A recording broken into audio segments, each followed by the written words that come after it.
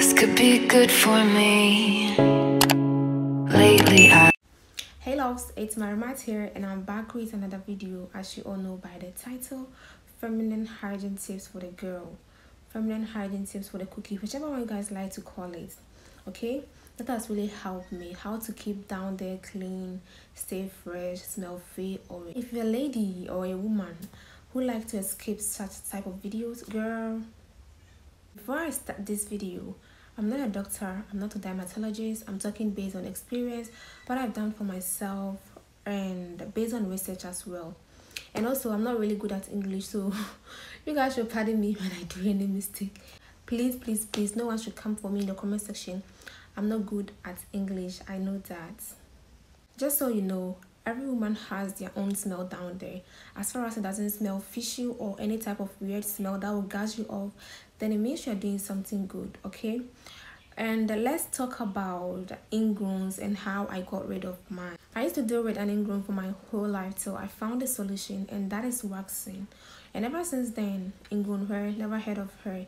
So if you feel like you are shaving and uh, you're not seeing any improvement in your hyperpigmentation, itchiness, and also ingrown, I think you should switch to waxing and see what happens, okay? I used to shave and uh, whenever I shave, two days after shaving, I kind of like have this itchiness down there and not only down there also my armpit as well because I shave there as well and that place itch very badly so I, I did my research and then switched to waxing and ever since then ingrown itchiness and also my hyperpigmentation seeing a very great improvement in my hyperpigmentation down there and also in my armpit and also wearing tight jeans or tight underwear that will kind of like prevent the hair from growing can also cause an ingrown. I know waxing is painful but if you like if you do it continuously you'll get used to it.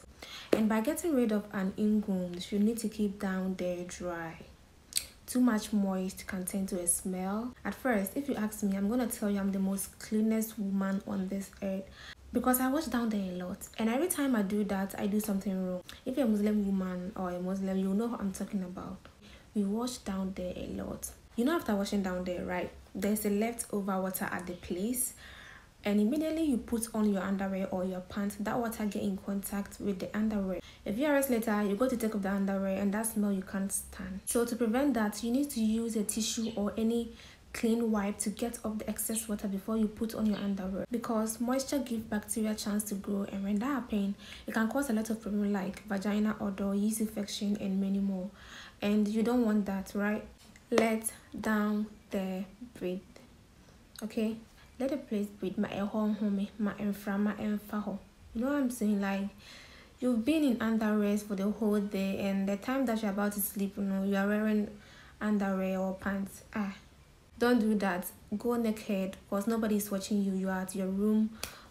Nobody's watching you. So make sure to go naked and let down their breathe. And also wear cotton panties. I know there are a lot of fancy panties out there but do make sure to get the one that says 100 percent cotton okay? And you can go ahead to have any pants that you like but make sure where the vg lies is made of cotton. How do you guys clean down there? Like cleaning down there is very very very important. You know what? God has made the place in such a way that it cleans itself. So it does not need all those smelling soaps or insecting stuff there to clean it. It's not necessary. All you need to clean down there is water and not using any smelling soap or insecting stuff there to clean the place. The only place that need extra cleaning is the um is the ovaries is that how it's called? Literally where the hair grew from is the place that need extra cleaning. But going in there like in there with soaps and stuff you are changing your ph balance and that can cause an infection so always make sure you wax or shave if necessary so you don't sweat or attract moisture that can cause bacteria and by doing so you need to clean front to back okay not back to front okay what i mean by front to back is where the vg is and where you do your number two you shouldn't clean the number two to the VG area. Always clean the VG area to the number two. Because if you're cleaning number two to the VG area, oh my goodness. Like you're bringing death, a fee. You're bringing fee to the VG and that can cause a lot of problems. So do make sure to avoid that. And always clean front to back not back to front.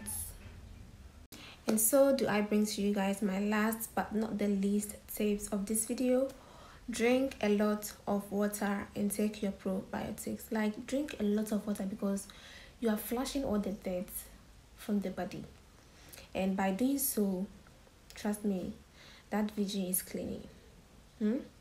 yeah drink a lot of water at least five or six a day. I know a lot of people don't like drinking water but please find a way to drink it okay? You can add lime or something. It's kind of like change the taste for you and drink a lot of water. Probiotics you can get it from food. And also there is this daily capsules that um a lot of people are taking but i haven't tried that yet. Maybe yet to try and if i do i'm gonna let you guys know okay? Yeah so this brings me to the end of the video. Wait i forgot this one. Mm. if your partner okay if your partner is not participating in a good hygiene i'm sorry for you. Yes i'm sorry for you you might not know, maybe you're doing everything right, but still now you're having an infection.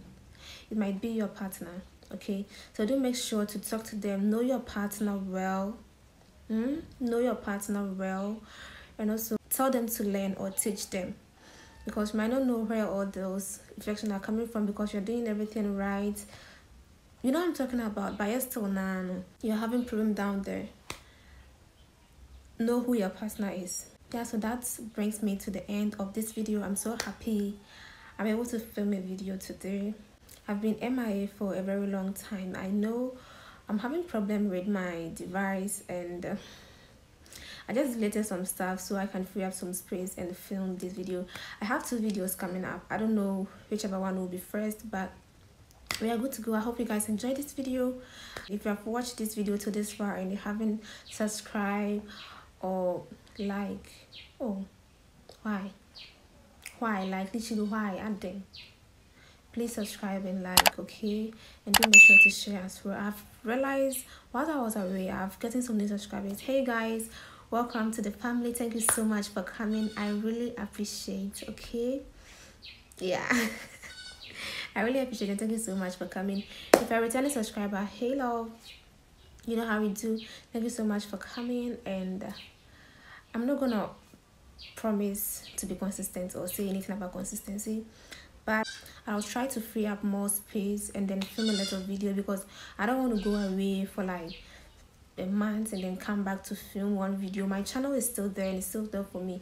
I'm just waiting for my device to come so I can hit you guys with back-to-back content. But now my device is really dealing with me. I can't really like meet me from my to what can I say I can't put my mind on it because it might disappoint me and I don't want that. So thank you guys so much for watching. I'll see you guys in my next one. Bye bye.